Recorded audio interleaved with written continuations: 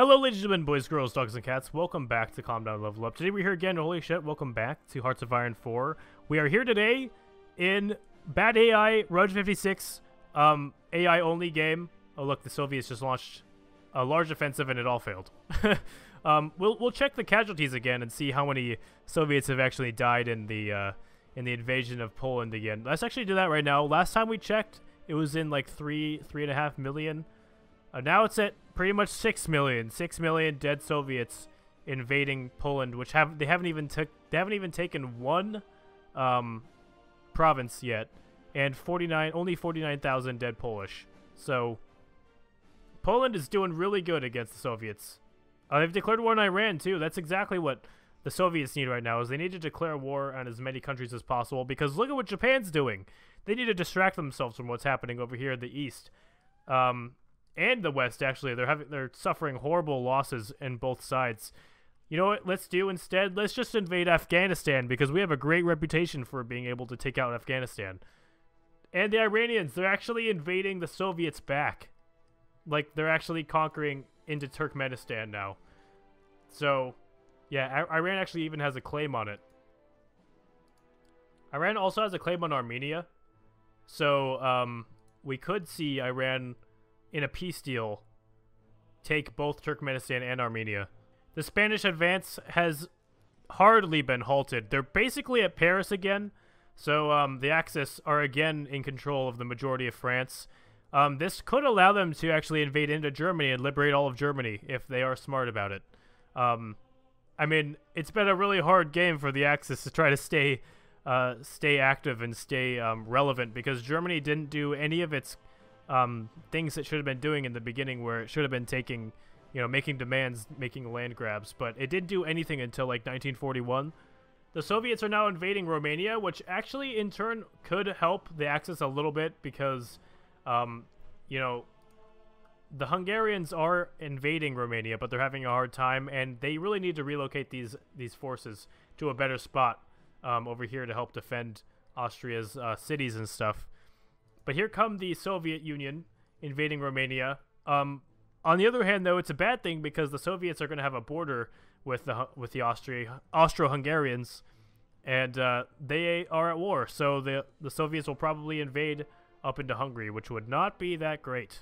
And the Spanish and the Italians are marching back into Germany. They've actually retaken um, Württemberg, the entirety of it, it looks like, um, and they've reconnected the front with Austria. So they all these divisions are they're safe now. They they might even be able to push back into the parts of Austria that they've lost and Munich and you know that one uh, that's that's just Bavaria right there.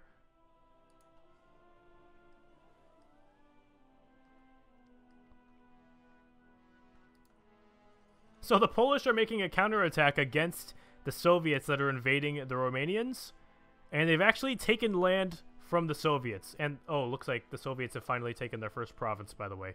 Uh, unless there's one over here that I didn't notice. Nope. Yeah, the Soviets have taken their first province against the Polish, but it's only one. The Polish have taken more. The Soviets have brought their um, manpower back up to 6 million, which will help. I think Japan actually did run out of manpower. Yeah, they did, and they are refusing to upgrade it, I think. But they are making a lot of divisions. That's a ton. Um, are you sure you can handle that, Japan? I'm not sure you can. the Axis is looking a lot better than it once did, actually. Jeez. They've regained basically all of France. They are losing a lot of Italy, and they did lose basically all of Greece and Albania and stuff. But we don't. We're not to think about that. All these troops that are invading Italy, they do have the. Oh, Rome was lost. So Italy actually might capitulate pretty soon, which is not good for the Axis because they are relying on a lot of these Italian divisions to hold the Allies off. Oh, look at this. Czech Republic has been recaptured for the most part. It was a lot, um, there was a lot more of it uh, had, that had been taken from them earlier. It's just back and forth with these guys. Jeez, I, I never know what to think, you know, if if they're going to die or if they're going to win. Jeez, this is like a crazy... I've never seen a an AI game like this where the Axis has just been on the on the tip of defeat for so long, but they keep making these weird comebacks. And I've honestly never seen the Comintern do this bad either. And vice versa, never seen that Japan do this good. Also, look at how much land Afghanistan and Iran has taken from the from the Soviets. Jeez, they've taken basically all of Turkmenistan. Um, some of, you know, I guess, what what would this one be? Like this is around Kyrgyzstan, Tajikistan, one of those two, and they're gonna start pushing into Kazakhstan pretty soon. The Persian army has 37 divisions, and the Afghanistan army has also 37 divisions. So these two guys together, actually including Turkey, Turkey's in their um, alliance, 51 divisions, except Turkey's having a a little bit more time uh, or focusing a little bit more on attacking the Italians over here. But the, these guys, all three together, are actually defending themselves and invading back the USSR. So they're doing pretty good. Um, the USSR right now, what are they doing right now? Oh, Poland. Have you taken more? No, I see. They've taken this little strip here.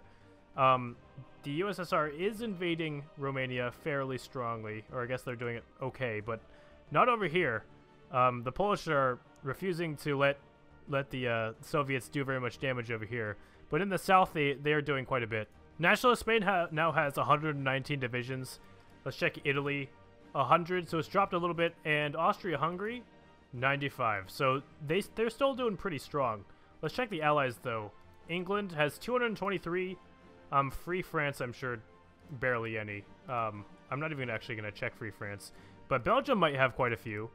Um, Belgium has 47. The Netherlands have 43. Um, and then there's smaller ones. Let's check the U.S. though. The U.S. 143. So British, the British actually have like the largest army in the U.S. so far. I mean, in the Allies so far. Um, the USSR has 404, um, which is actually kind of a low amount for them. Checking again the uh, casualties for the Soviets, just because I'd like to see the Soviets die. it's kind of messed up, but uh, 2.2 dead in a million in the war against Japan. Um, we have Soviet-German war. Well, only 1,000 dead Ger uh, Soviets here, actually. Uh, we have the Soviet-Polish war. 8.52 million dead Soviets. Jeez. Um, Iranian, uh, 237,000 dead. Um, that's that's more than the rest of the uh, Pact combined. So, jeez, come on, Soviet Union. I mean, they they did successfully capitulate Romania, which gives them an invasion, um, a spot to be able to invade Austria-Hungary. And I just burped there. This war really has been raging for way too long. I think, like, there's no reason that nationalist Spain should be holding France for this long. Um, and Belgium and the Netherlands should be holding Germany for this long. And Austria-Hungary have come back in the 1940s. I mean, this this game is insane. This is one of the most crazier ones I've ever watched. Well, boys, I don't really think we're going to see very much change after a while. I mean, I don't think there's going to be a peace deal in a very long time just because it's taking forever for really anything to happen. I've sat here for about um, 30 minutes, and the borders really haven't changed except for over here a little bit. So we might not see the the uh, thing happen for very long. So I think I'm probably going to end the series here. We're probably just going to say it was a draw because Axis and Allies just can't kill each other. Germany capitulated, but Austria-Hungary rose out of nowhere and um, ended up joining the Axis with Italy and and nationalist Spain did super good. They conquered France after uh, after the Germans conquered France and then lost it, and then the Belgians puppeted France for some reason. Um, so, and also, I'd like to point out the irony that um, Free France is called Free France, even though it's a puppet of Belgium. But anyways, boys, thank you so much for watching this. If you like this series, make sure to leave a like and a favorite and a subscribe if you guys are new. And I will see you guys all next time. Make sure to leave suggestions of what kind of series you would like to see next in the comments. Peace.